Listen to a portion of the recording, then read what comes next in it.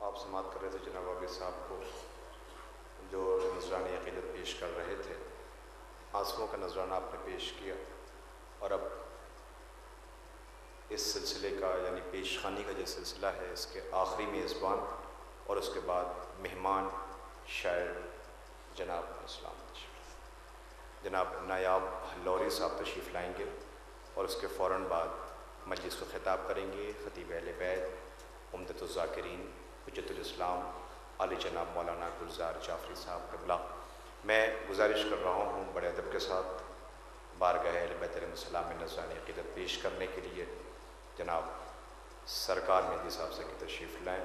قبل اس کے آپ حضرات سے گزارش ہے، آپ حضرات بیدار ہو کر جیتی جاگتی اور بلند ترین سلوات پڑھیں۔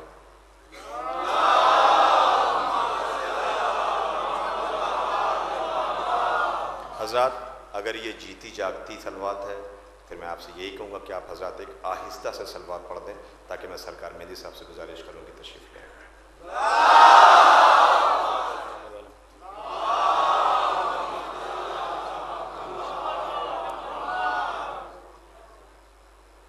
ایک مطلع دو شعر حاضر کرتا ہوں۔ انصاف کی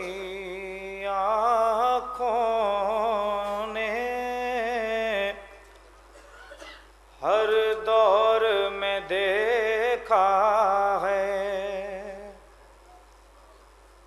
ٹکرایا ہے جو حق سے، وہ ٹوٹ کے بکھرا ہے۔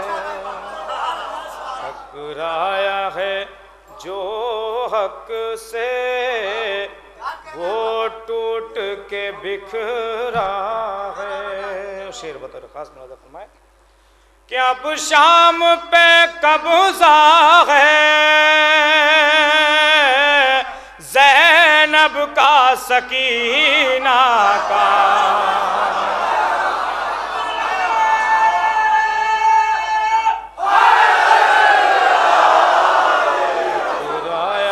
جو حق سے ٹوٹ کے بکھرا ہے۔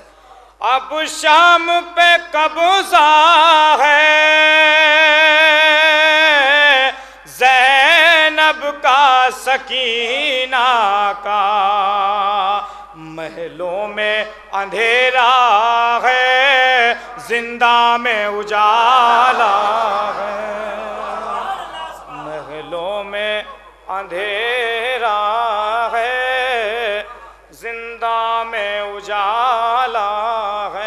آخری شعر کہ قاتل کے مقام میں وہ مجلس کا بپا کرنا۔ قاتل کے مقام میں وہ مجلس کا بپا کرنا۔ رخسار پہ ظالم کے بھرپور تماچا ہے رخسار پہ ظالم کے بھرپور تماچا ہے